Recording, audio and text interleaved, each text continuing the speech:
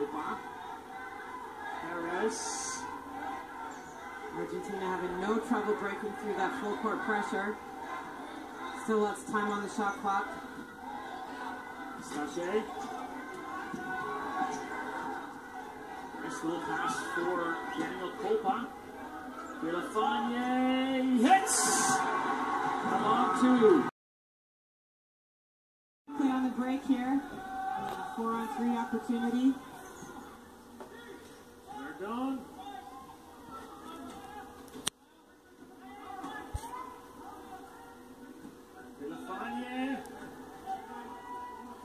Shot clock. Puts one up and nails the three.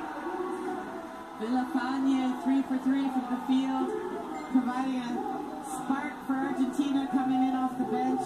Hmm.